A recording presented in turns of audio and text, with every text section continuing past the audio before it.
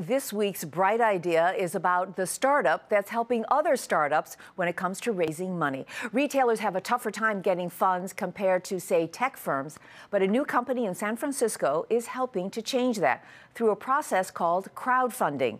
It brings together groups of angel investors, and as Bertha Coombs explains, for the startups that benefit, it's like a little bit of heaven that's been really static. Rory Eakin and Ryan Caldbeck may not look like matchmakers, but their startup firm Circle Up is in the business of bringing together entrepreneurs and investors through crowdfunding. Crowdfunding is the process of connecting multiple people and allowing them to invest in a project or a company. Crowdfunding is often associated with organizations like Kickstarter that solicit donations using the internet. Eakin and Caldbeck, with backgrounds in private equity, are using the model to group angel investors hoping to make a profit. The angels buy in through a broker who pays Circle Up a commission, and they get in on the ground floor of small businesses like Little Duck Organics, a healthy snack food maker in need of cash to grow.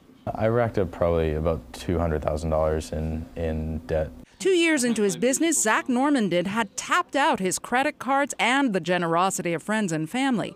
He raised 400,000 from one group of outside investors and went from selling in 600 stores to 4,000. To get to the next level, Little Duck was going to need a lot more cash. Investors told him about Circle Up, and it wasn't long before he got funding. We got off the phone and and Ryan called up after and he's like, we just had $60,000 like committed just on that phone call. Wondering what we have in stock. In just eight weeks, Eakin and Caldbeck helped Little Duck raise a little more than a million dollars. They've helped more than a dozen firms raise similar amounts, all consumer packaged goods or CPG firms poised for growth. Angels and venture capitalists tend to focus on technology, and consumers a little bit underrepresented. Traditionally, their only option to go raise money has been to fly around to various angel groups around the country. We, by putting in through an online marketplace, make that more efficient. It was the goal of the bipartisan Jumpstart Our Business Startups or JOBS Act, signed by President Obama a year ago, to help more small businesses raise capital from investors. While the law eases some private placement rules, the hope was the SEC would also ease standards that limit investment to those with at least $200,000 in annual income or a net worth of more than a million dollars, not including their home. The SEC has yet to act, but critics worry looser rules will expose investors and maybe companies to fraud.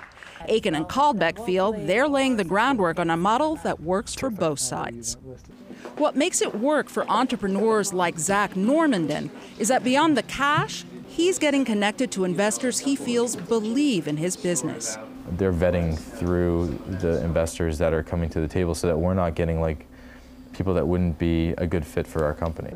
For Nightly Business Report, I'm Bertha Coombs.